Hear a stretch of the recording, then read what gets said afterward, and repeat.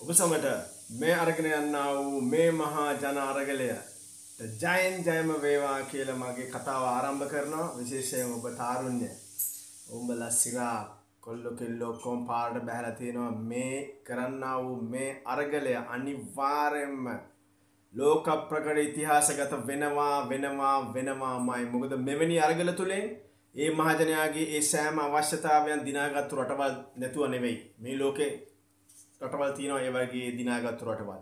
උදාහරණයක් විදිහට ගත්තොත් පිලිපීනය, සුඩානය, ඉජිප්තුව, තියුනීසියාව, ඉන්දුනීසියාව වගේ රටවල් ඒ කුරිරු දූෂිත පාලකයා එළවන්න ඔවුන්ට හැකියාව ලැබිලා තිබෙනවා ඒ අරගල තුලින්. ඉතින් අපිත් මොකද මේ අරගල තුලින් කළ යුත්තේ? අපිත් මේ අරගල තුලින් කළ යුත්තේ මහජන විමර්ශාවක් හරහා මේ රට පරිපාලනය කරගත හැකි ආකාරයේ වැඩ පිළිවෙලක් තනා ගැනීමයි. කොහොමද මේ මහජන ව්‍යවස්ථාව කරහා මේ වැඩ පිළිවෙල කරගන්න? ඔක්කොට මිස්සල්ල දැනට තියෙන මේ පාලන තන්තය අනිවාර්යම අයින් වෙන්න ඕන. මොකද දැනට මේ අන විදිහට අපි හැමෝටම තේරෙන දෙයක් ෆේල් මොකද රටට යෝජිත නැහැ. ඉතින් කලියුත්තේ මේට දෙන්න පුළුවන් ඉක්මම්ම විසඳුම තමයි දැනට ජාතික ලයිස්තුවෙන් කියන්නේ නේෂනල් ලිස්ට් එකෙන් 28ක් නැත්නම් 29ක් පත් වෙලා තියෙනවා. සීලුම් පක්ෂ කියනෝනේ අපි එකතු වෙලා මේ දෙයක් කරන්න රට ගොඩ දාන්න කැමතියි කියලා. එහෙනම් ඔබ සීලුම් පක්ෂවල තියෙන ඒ ජාතික ලයිස්තු മന്ത്രി දුර ඔබ සීලු දෙනාම ඊන් ඉවත් වී එය අනිවාර්යයෙන්ම අලුත් කණ්ඩායමකට දෙන්න ඕන. අලුත් සෙට් එකකට දෙන්න ඕනේ. කවුද මේ අලුත් සෙට් එක? අපි MPH පොලිසිය එක ඔබ චුට්ටක් හරි දන්නවනම් සමහරකට ඔබ මට වැඩිය දන්නවා ඇති. හැබැයි ඒකේ ප්‍රධානම දේ තමයි සුදුසු කෙනා සුදුසු තැනට පත් කළ යුතුයි. මක් නිසාද ඒ ඇති කරගන්නා වූ ඒ SLA KPI උඩ සිට යටට ප්‍රධානයා සිට ඕනම ආයතනයේ සෑම කෙනෙකුටම රාජකාරී කළ යුතු ආකාරය කොහොමද කරන්න ඕන පොෆෝමන්ස් එවලුවටෙන්න්න කොහොමද? ඒ ඔක්කොම ඒ විදිර හදල වෙර වෙලා ඒ අදාළ පුද්ගිල දාන්න ඕන. මේ සඳහා මම නිකං නම් දෙකතුනක් කියන්න මගේ ඔලුවේ තියෙන මොකද මගේ ඉන්න අමාත්‍යන්සි මාදරණ අමාත්‍යන්ස මා විශ්වාස කරන අමාත්‍යන්සය වෙල් අමාත්‍යවරු විසිතුනයි අගමැති කෙනෙක් බිහිවෙන්න ඕනේ අගමැති කෙනෙක් පත්වෙන්න ඕනේ ඔවුන්ගෙන් නිසි ලෙස ඒදේ අදාළ විදිර කරගෙන යා හැකි උඩින් කතා නායකතොර විසි පහයි හැබැයි මේ කිසිම කෙනෙක් පාර්ලිමේන්තුර ගීල්ල කිසිම කෙනෙ සතපහක දෙයක් නිකං කන්න යන්න නෑ හැබැයි මේ සැවම ඒකට අට වටිනාකමක් තියෙනවා. කැන් එකන් පාලිමේන්තුවේ කිසිම දෙයක් නොවලේ දිය නොහැකි. ඒට සඳහා අයකිරීමක් කළ යුතුයි. ඒදේ කරන අතරට මේ අයට ඒ වගකින් බාර දෙනවා. ඒ අමාත්‍යංශ තමන්ගේ ඒ විශේෂ ප්‍රමණත ආචාර්යවරු මහාචාර්යවරු රටින් පිට ඉන්නවා. උදාහරණයක් විදිහට ගත්තොත් ගාමිණී විජේසිංහ අපේ හිටපු ඔඩිට් ජෙනරල් ඊට පස්සේ ඩොක්ටර් උදය උදේ ඉන්ද්‍රරත්න දැනට එංගලන්තේ ඉන්නේ මෙහි ගිහිල්ලා රාජකාරී කටයුතු කරමින් සීනියර් ප්‍රොෆෙසර් උදිත් ජයසිංහ. ඔය ඇවිල්ලා දෙතුන් දෙනෙක්ගේ නම් විතර. ඕ වගේ ඒ ඉතුරු අමාත්‍යංශ 23ට ඒ ඒ තමන් පළාත් හා සම්බන්ධ වීමට හැකියාව ඇති සහ තමන්ගේ ඒ දැනුම නිසිලස රටට ප්‍රෝජනයට ගත හැකි අන්දමින් ක්‍රියා කළ හැකිසා රාජකාරී කළ හැකි. ඒ අමාත්‍යවරු පත් කරගන්න ඕනේ. නිසි තැනට නිසි පුද්ගලය. ඒ වගේම තමයි සභාපතිවරු. මේ සභාපතිවරු සඳහා මම යෝජනා කරන්න රටේ ටොප් 20 කම්පනීස්වල අනිවාර්යෙන්ම දැනට උඩින් වැඩ බලන කට්ටිය සහ අයිතිකාරයෝ ඒවා ඒ මහත්ම මාතීන් අනිවාර්යෙන්ම මේ සඳහා සම්බන්ධ කරගත යුතුයි. මොකද ඔවුන් ඒ සඳහා උරදීලා තමන්ගේ ඒ අවශ්‍යතාවය මත තමන්ගේ ඒ ව්‍යාපාර ගොඩනගනු ලැබුවා. ඒ වගේම මේ රටේ තියෙනා වූ මේ ජාතික ප්‍රශ්නදී අනිවාර්යෙන්ම මේ සම එක්කාසු කරගෙන මේ සඳහා එකමුතු කරගෙන යන්න ඕන මක් නිසාදයක් ඔවුන්ට කලින් අවශ්‍යතාවයක් තිබ්බත් ඇවිල්ලා වැඩක් කරන්න උමනාවක් ගුණේත් නැහැ අවස්ථාව දුන්නෙත් නෑ. මොකද දරාජෝරුවක් මට මේ මට වගුරු කවුරුත් ඇවිල්ලා එතෙන්ට දැඟලෙන්න ගෑවෙන්න මඩ ගාගන්න කැමති නෑ.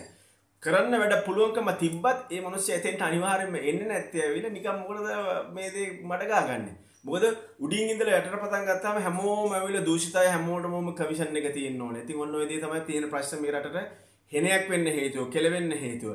එතිනින් අපි ඒදේ මේම කරලේ වෙරලා නිසි පුද්ගල නිසිතරට පත්වනාට පස්සේ අන්න අපි මේ දකින මේ ඩොලර් පස්සට අපට විසුදුමත්තින රටෙන් එලිය ඉන්න අපි අනිවාරෙන්ම මොකද ලක්ෂතයකට වැඩිය ඉන්නවා. මේ අපට සමට පුළුවන් මේ ඩොල ලංකාවට එවලෙවරලා මේ ප්‍රශ්ස ගොඩදාන්න හැබැයි ඒක කිබුල කටට යවන්න බෑ. නැමතත් ඒක නැතිවෙන්න දෙන්න බෑ. බාදරත් දන්නවත් දන්න බේපට මොකක් දුනේ කියනද අපි කොහොමරි කමක් නෑ ගේදිය ගිය. කෝමර මේ ප්‍රශ්වල විසඳගන්න ඕනේ. ඒදේ විසදගන්න ඩොල පස්සන ඩොල විසදගන්න අවශ්‍යන ඩොක්ට නන්දලා කිව්ව වගේ අනිවාරම් මාර මැදික් තික්කේ වගේ මේ දවසෙන් ඇවිල මෙහම කල්ලා දාලා දවස් දෙකින් මේක හදන්න බෑ. අනිවාරම්ම එතුම කිව්ව වගේ වාහනද පල්ලට කඩාගෙන යනවා කන්ද පල්ල හට කෝමද මේක බ්‍රේක් මේම කරල වෙරලා හැපිල කුඩුවෙන නොදී බේරගන්න කියනදේ ප්‍රශ්තමයි දැන් අපින්නේ ඒදේට අනිවාරෙන්ම කරන්න නම් නිසි පුද්ගිලෝ නිසිතනට දාල්ල වෙල්ල ඒතුමා වගේ කෙලින් කතා කරන්න ඕන. හංගල ගහන්න බෑ දැන්ඇවිල්ල කිසිම දැම්මුද මහජනය මෝඩ නෑ දැ හැමෝම දන්නවා කවද හොඳ කවද නරක.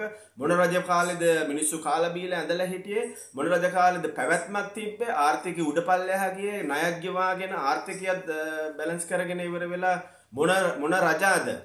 මොන රජ මොන රාජාණ්ඩුවද මොන මොන පාලනයද ඒ විදිර මේ වනේ කියලා හැමෝම දන්න මිනිස්සු දැන් බුද්ධිමත් මේ ඉස්සර වගේ ඇවිල්ලා පිනුමට ඇවිල්ලා දැන් මේම කරන්න බෑ.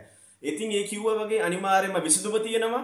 ජාතික ලයිස්තුවේ කට්ටිය එළියට ඇවිල්ලා ඉවරලා මේ කට්ටිය එළියට දානවනේ මම දෙන්නම්. මම දෙන ඒ නම් ටික එතන දෑත් පිරිසිදු අය තමයි මම ගේන්නේ. මේ අය සැමටම කරන්න පුළුවන්. මේ සාවම විශේෂඥයෝ මේ හා සම්බන්ධ සෑහෙන පරිණතභාවයක් තියෙනවා. ඒ කියන්නේ ලංකාව විතරක් නෙමෙයි ලෝකෙටත් දෙනුව බෙදාහරන මේ පිරිසක්.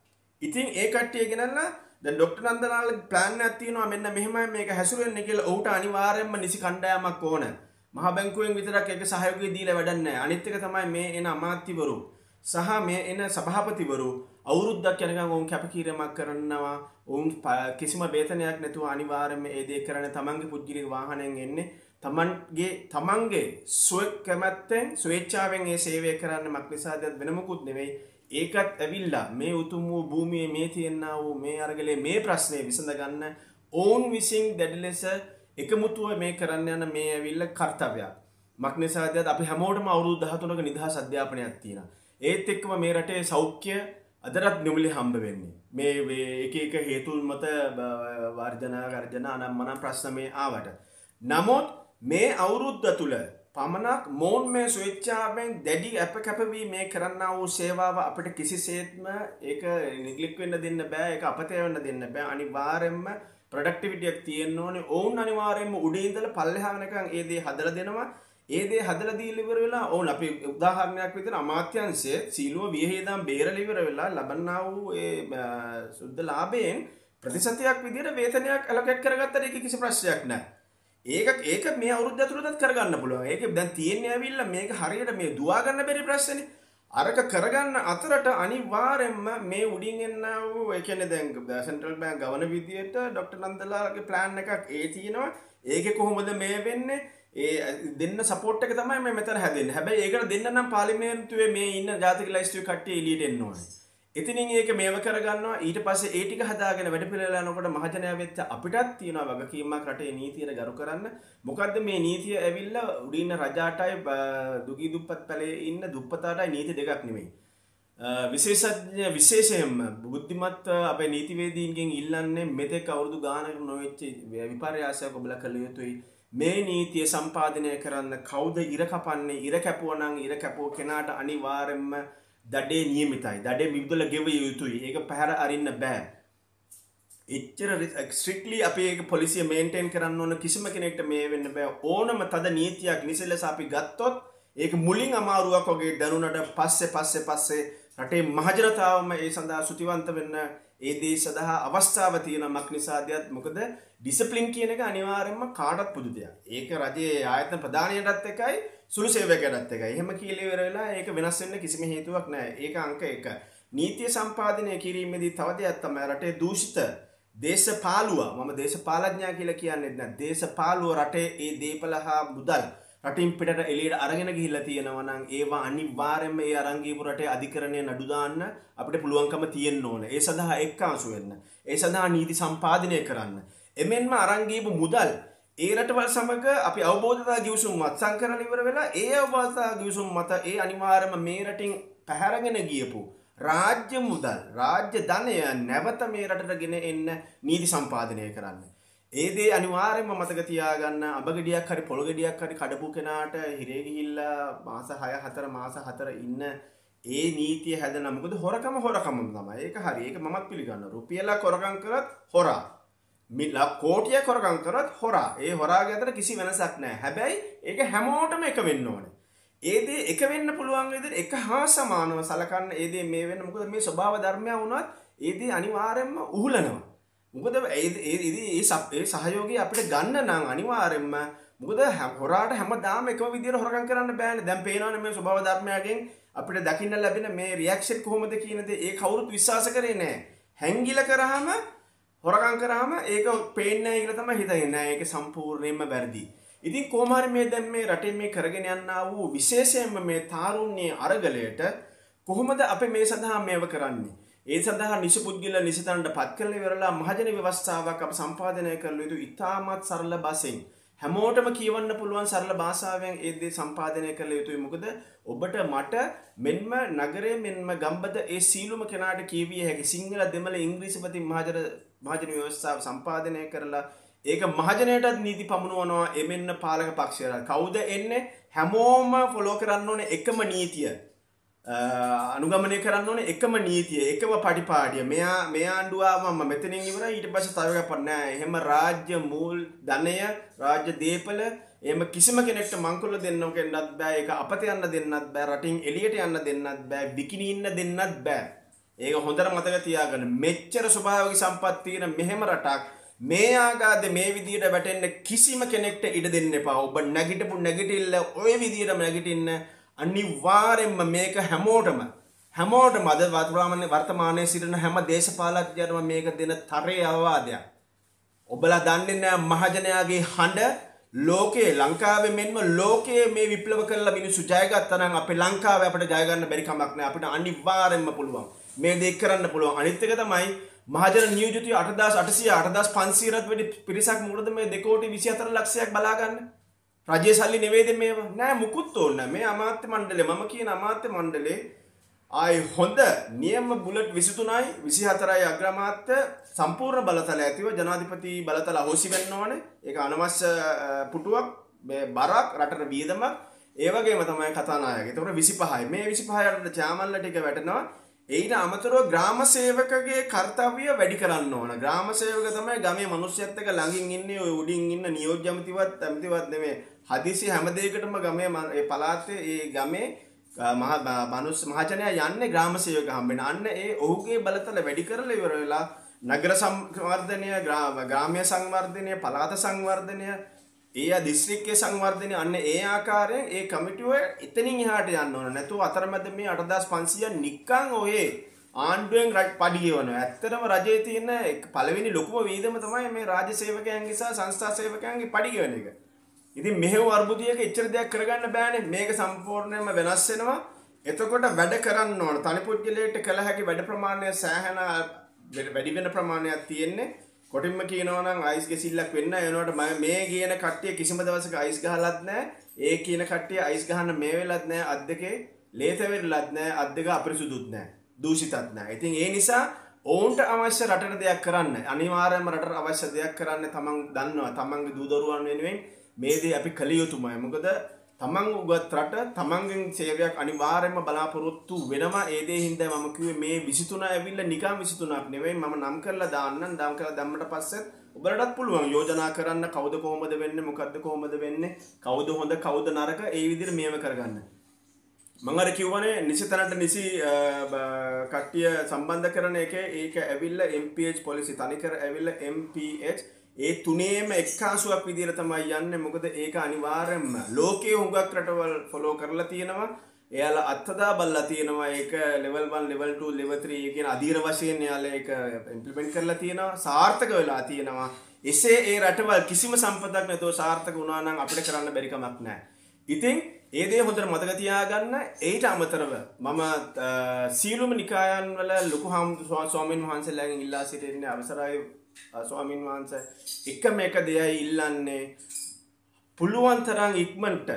ඔය ඔය පන්සල්වල එක්කාසු වෙලා තියෙන ඒ අරමුදල් වලින් එක්කාසු වෙලා පුළුවන් තරම් ඉක්මනට මහා බික්කු සංගායනාවක් කරලා මේ දුස්සීල භික්ෂූන් වහන්සේලා අනිවාර්යයෙන්ම පුනරුත්ථාපනය කිරීමට හෝ නැත්තම් නිර්පා දමන්න ඒ සඳහා මූලිකත්වය ගන්න අදරත් ප්‍රමාදන ඔබහන්සේලාගේ ආශිර්වාදය ඔබහන්සේලාගේ ශක්තිය මත තමයි මේ දේ සම්පූර්ණ කර හැකිවීමට ඇත්තේ. ඒ සඳහා මූලිකත්වයක් ගන්න අනිවාර්යෙන්ම ගිහියන් හැටියට අපිට කරන්න පුළුවන් අපේ සහයෝගය අපි අනිවාර්යෙන්ම රටේ ශ්‍රී ලාංකිකයේ සිටත් රටෙන් පිට සිටත් අපි සඳහා දෙනවා. මක් නිසාදයක් ජාති ආගම් කුල බේද මත මේ රට දෙකට වෙන්න දෙන්න බෑ.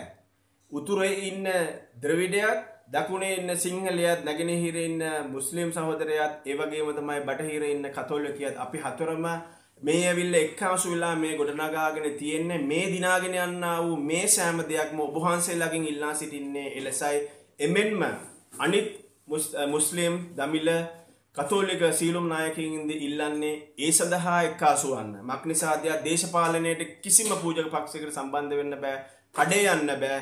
ගිහිල්ලිවර වෙලා දේශපාලන මත දරන්න බෑ. පූජක පක්ෂය සිටිය යුත්තේ අවවාද අනුශාසන පාලක පක්ෂයට ඕ රාජ්‍යනායකයට අවවාද අනුශාසනා දීමට පමණයි. ඔවුන් සිටින්නේ ඒ ආගම හා ඒ අන්‍යෝන්න සාසම්බන්ධතාවය රැකගනිමින් යන්න. පන්සලේන හාමුදුරුවෝ බෞද්ධය විතර රකින්න නෙවේ මේ වෙන්න අනිවාරෙන්ම කතෝලිකයා ද්‍රවිඩ මුස්ලිම් ඒ සෑම සෑම ආගම් බේදයකින් තොර ඒ සවම අතර තියෙන්න ඕන. මේ අපි අපි අතර තිබ්බ අපි පොඩි කාලෙ තිබ්බ. මෙහා පැත්තගෙද මුස්ලිම් මේ පැත්තගෙද දෙමළ අපි හැම කාලබීල අපිකට ජීවත්වෙලා ඉඳලා තියෙනවා. කිසිම දවසක කිසිම මේකක් වෙන්න මේක මේ කරන්න දේශපාලුව කඩන්නේ. කඩනකොට ඒකට එකතු වෙන පිරිසක් ඉන්නවා වෙනම ස්වාමින් වහන්සේලා. ඒ ආගම්වලින් ඉන්නවා වෙනම. ඒතකොට එයාලා කට්ටිය වෙනම හදාගෙන ඉවලා තමයි මෙතන මේ ප්‍රශ්නේ ඇති වෙන්නේ. ඉතිරින් රටේ සංහිදියාව අනිවාර්යෙන්ම මේ අනරගලෙත් එක්කම ඒදේ මේ විසඳිලා ඒ ප්‍රශ්නයට අපිට විසඳුමක් හම්බෙනවා. ඊට අමතරව අපිට කරගන්න තියෙන්නේ කිසිම දෙයක් මේ වෙලාවේ අතාරින්න එපා. ඔබේ හිත දැඩිකොට අනිවාර්යෙන්ම මේ දැඩි අධිෂ්ඨාන සීලත්වයේ තියාගන්න. මේ අධිෂ්ඨාන සීලත්වය මට ඔබටයි මටයි කරන්න බැරි දෙයක් නෑ. මේ අරගලේ නතර කරන්න එපා. මේක ජය ගන්නවා ජය ගන්නවාමයි. එසේ කියමෙන් අනිවාර්යෙන්ම මගේ මේ වචන ස්වල්පය මම නතර කරනවා. ආචාර නන්දා මාලනියන්ගේ පවන ඇල්බම් එක සින්දුවක අන්තිම වැකටික කියලි වෙලා. රජික වුවත් වරදට කෑ මොරගසුණු මොරදන මුවහි ලන මී පැණි ඉවතලනු. නිවැරදි කරනු බැරි රජු නෙර පාහරිනු වරදටු කිපෙනු සටන දැවැඩ ජය ලබනු. ජයවේවා ඔබ සැමට ජයන් ජයම වේවා මේ සිංහල මුස්ලිම් දමිල කතෝලික මේ අපි තාරුන්න මේ එක්කාසුවී කරන්න වූ මේ අරගලයෙන් අපේ මේ සීලුව වැඩ කටයුතු සර්වපකාරම සාර්ථක වෙන්න ඕන රටේ මහජනතාව ගොඩනැගීමට අපිට ඉඩ ප්‍රස්ථාව සලසල දෙන්න ඕන. ජයවේවා The News Reporter. වාරණයෙන් තොර අපක්ෂපාති වාර්තාකරණය.